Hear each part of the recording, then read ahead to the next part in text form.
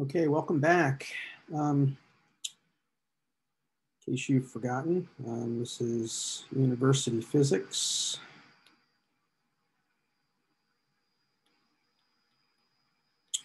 Uh, in the fall of 2020.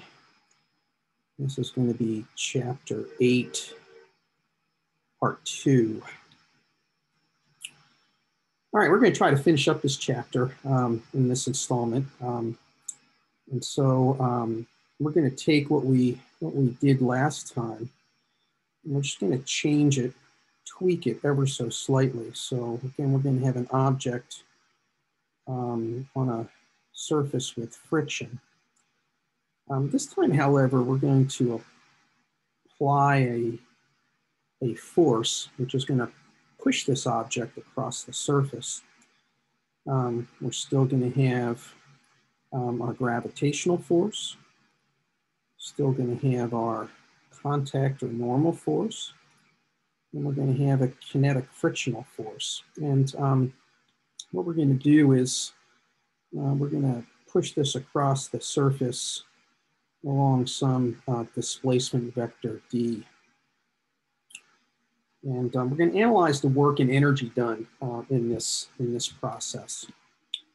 So, um, so let's, um, let's begin to uh, tease this apart, right? So um, if we look at Newton's second law, in the vertical direction, we have that the normal force minus the gravitational force is zero, or that the normal force is equal to the gravitational force. Um, no, uh, no surprises there. Excuse me. If we look in the uh, horizontal direction, we have the applied force minus the kinetic frictional force. It's equal to the mass times the acceleration. Now let's go and um, let's go and take a look at one-dimensional kinematics here and make some um, make some analyses. So um, we know that v squared is equal to v naught squared plus 2a times d. That is, this object is going to have some initial velocity in that direction. And um, you know, by the time it gets down to here, through that displacement, it's going to have a final velocity v.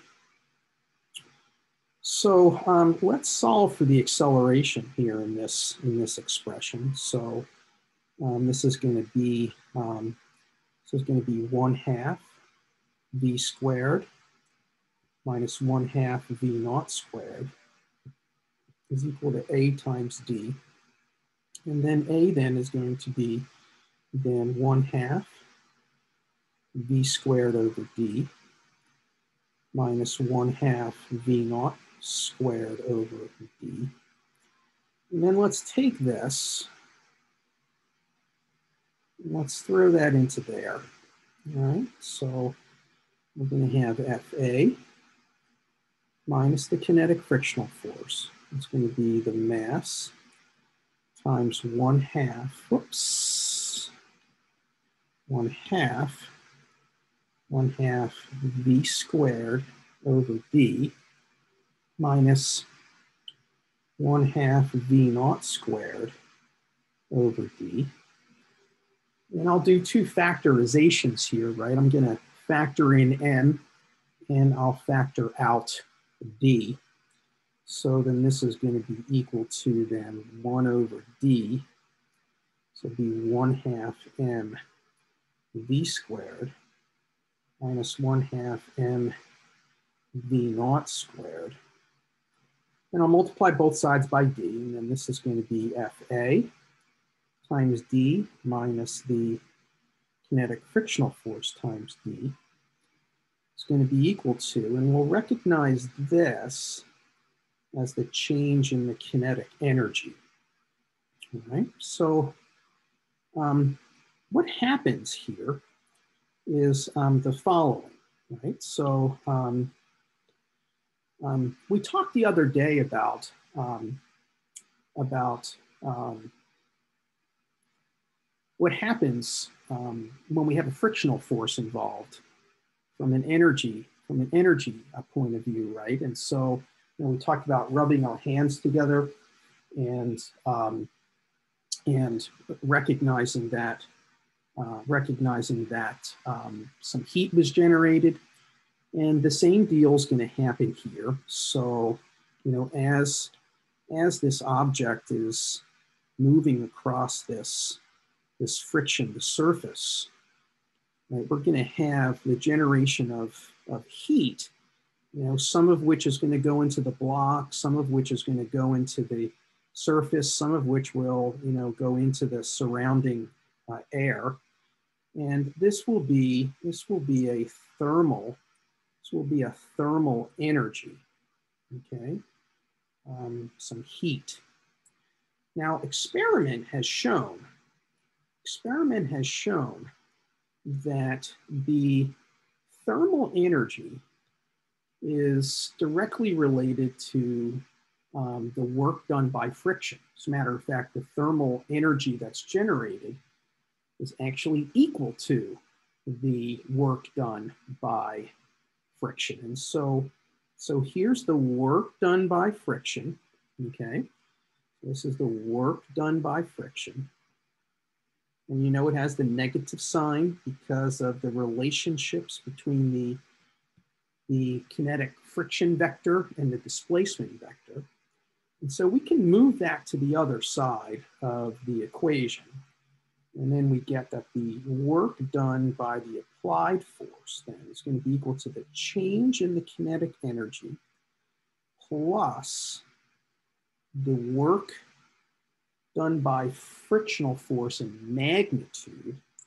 And we just stated that that could be, that could be, um, that could be equal, or that, that's equal to then the thermal energy involved, thermal energy involved in, in this process of the frictional force occurring at the interface of, of this of this uh, block and surface, okay? So, so now um, we've got this new kind of energy, this thermal energy, which is related to um, the uh, work done by the frictional force, okay, in magnitude. So let's, um, let's, let's take one more comprehensive example right? And so um, we're going to look at we're going to look at an object which again has an applied force. This time it's moving up an incline of some angle theta. We still have a gravitational force. Right? We still have a contact or normal force and we're going to have a kinetic frictional force. Okay, and we're going to have um, an angle of incline here, which is going to be called theta. And um, you know what we've done in the past, right? This is familiar territory for you, is that we resolved, we resolved the gravitational force into two components, the mg cosine of theta. This one's going to be mg sine of theta, right? This force is no longer there. And now that, let's employ the work kinetic energy theorem for this, okay? So we're gonna move this block through some uh, displacement D along this incline. And let's take a look now. Let's take a look at the work involved um, in these, um, these forces, okay? So um, you will recall that the uh, work kinetic energy theorem, which is your next to best friend next to uh, Newton's second law, stated that work net was equal to the change in the kinetic energy. Now work net was the work done by all the forces involved, right? So this is the work done by the gravitational force, the work done by the contact or normal force, the work done by the applied force, and in this particular case, the work done by the kinetic frictional force equal to the change in the kinetic energy. Now, what's familiar to you, or what should be familiar to you, is that if we um, if we looked at right, if we looked at the work done by the the normal force and the work done by the cosine component of the gravitational force, right, by virtue of those two forces being perpendicular to the displacement vector, they do no work. And so we, we should write that down. Okay, so the work done by the normal force and the work done by the cosine component of the gravitational force, they're both equal to zero because they're perpendicular to the displacement vector, okay? All right. So, um, so um, again, what we, I guess what we should say, maybe, maybe I should write this down maybe a little bit more carefully, right? So it's zero uh, because, because mg cosine theta and fn are perpendicular to the displacement vector. Okay, that's a little bit more exact, and if you're going through this later, um, it, uh, it won't be that confusing to you, okay? So, um, so the only component that does work here then is the work is the work done by mg sine of theta, which then is going to be the magnitude of that force, which is mg sine of theta, times the displacement magnitude times the cosine of theta prime. Now, theta prime is the angle, is the angle, the angle between mg sine of theta component and the displacement vector. And so theta prime in this case is 180 degrees. And so the work done by mg sine of theta is going to be equal to mg sine of theta. Now theta here is the angle of the incline, right? Times the displacement vector in magnitude times the cosine of 180 degrees, which is negative one, is negative mg sine of theta times d. Okay, and that should that should all be familiar to you, right? So now let's get a little bit more elegant, right? Let's get a little bit, bit more elegant here. And so um, let's go back to, to um, the uh, dot product representation of the work. And so the work done by the gravitational force then is going to be the gravitational force dotted into the displacement vector, okay? And so then that's going to be the magnitude of the gravitational force, the magnitude of the displacement vector, times the cosine of the smallest angle between those two vectors. Right, now I'm going to redraw, I'm going to redraw this. Right, so here's, here's our block. Here is the gravitational force okay? And here is the displacement vector, okay? And the smallest angle, the smallest angle between them is this theta prime, which I want you to recognize is very different the angle of incline, all right? So let me draw in a perpendicular here to the displacement vector. So this is 90 degrees. And you'll notice, right? You'll notice that um, this is theta. We've proven that um, many times before. And so you know now that theta prime is going to be 90 degrees plus theta, looking at that, right? So again, this is, this is 90 degrees. And so theta prime is going to be 90 plus theta. And so then cosine, cosine of theta prime is going to be the cosine of 90 degrees plus theta.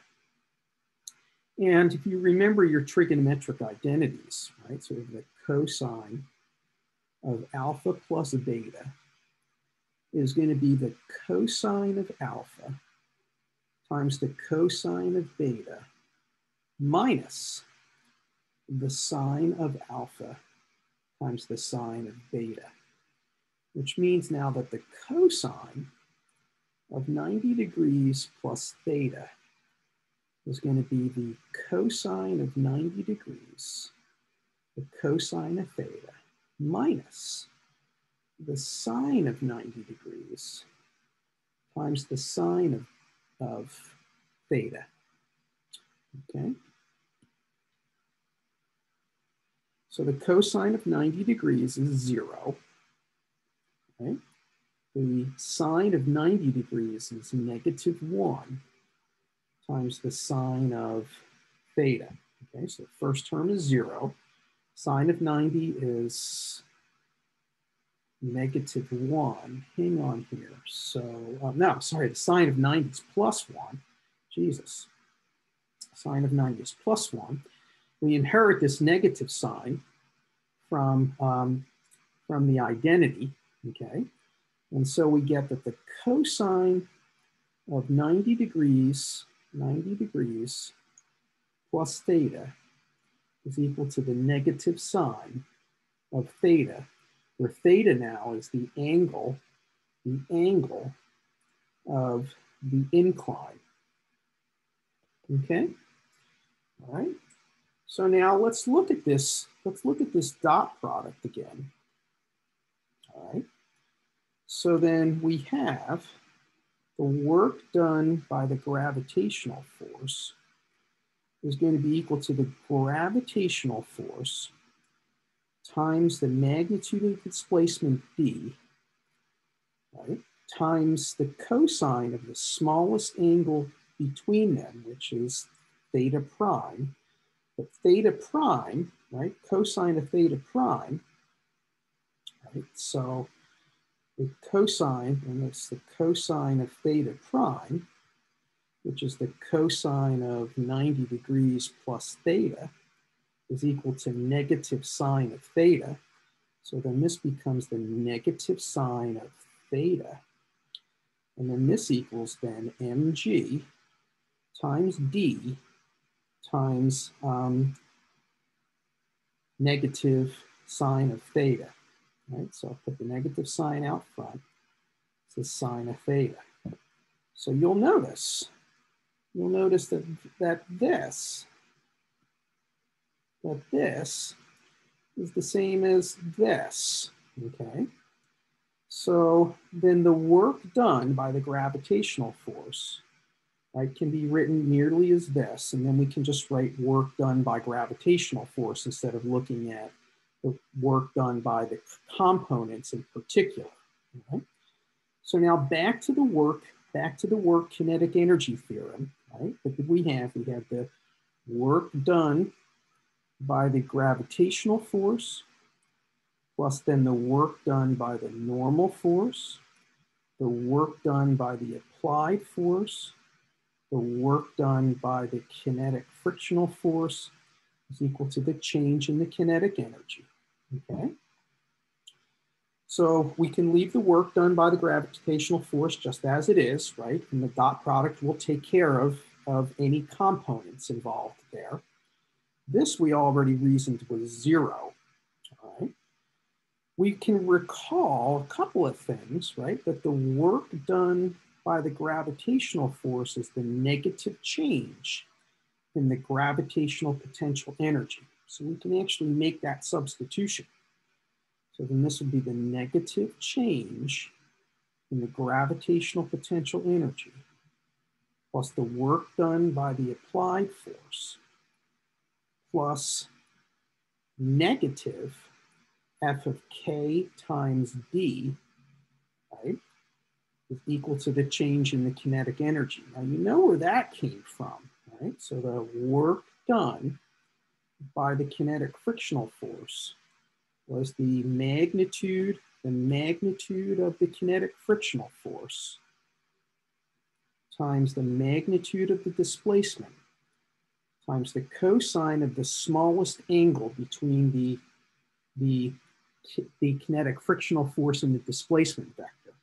So if we go back to this diagram, okay, and if we now put in the gravitational, gravitational friction force, and if we look at now the smallest angle between those, so that's going to be theta double prime, and that's 180 degrees.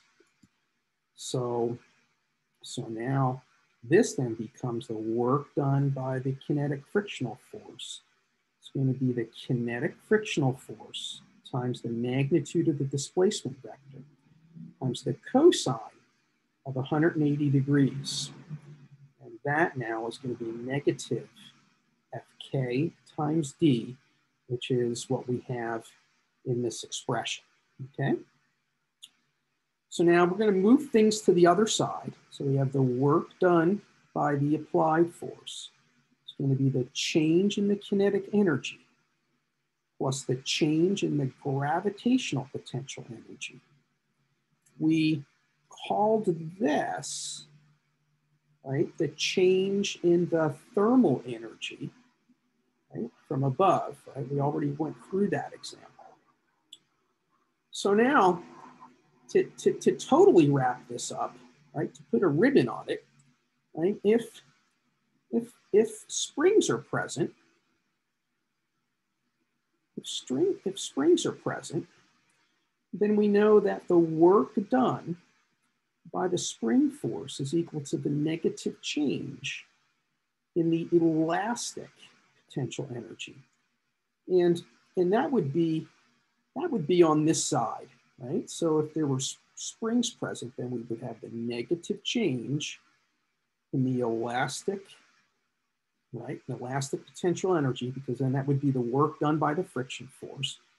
The work, the work done by the work done by the uh, gravitational force, which is the negative change in the gravitational potential energy. The work done by the applied force, minus Fk times d, the work done by the frictional force. That would be the change in the kinetic energy. So now let's tidy this up just a bit, moving, uh, moving these energies to the other side. When we have the work done by some applied external force then, it's going to be equal to the change in the kinetic energy plus the change in the gravitational potential energy, plus the change in the elastic potential energy, okay, um, plus the change in the thermal energy from friction. This now is our final statement of the law of conservation, conservation of energy. It basically says that the work done by any external force is going to be equal to the change, total change in these energies, right? If, if we have no, no external force, then we have no work done, right? Then the work done by some external forces zero. And so we have zero is equal to the change in the kinetic energy plus the change in the gravitational potential energy plus the change in any elastic potential energy plus the change in any thermal energy. And this is the most comprehensive statement we can have because um, basically it says that that the changes in all of the energy must sum to zero. Right? Energy can't be created or destroyed. It just can be parceled back and forth between these forms. And so that the total change, again, given no external forces acting on our system, okay, then, then, then the, the sum of the changes in the energy will sum to zero and then that is now going to be the law, you know, another, another uh, interpretation of the law of conservation of energy. Okay, So I have uh, just a couple of tidbits to tie up, but this is a good place. Um, this is a good place to um, to end at least this part of the discussion. Um, when we get back, I'll uh, talk about um, talk about power, which will take about five or ten minutes, and then we'll move into chapter nine. Okay, very good. Good luck, guys. Enjoy the weather.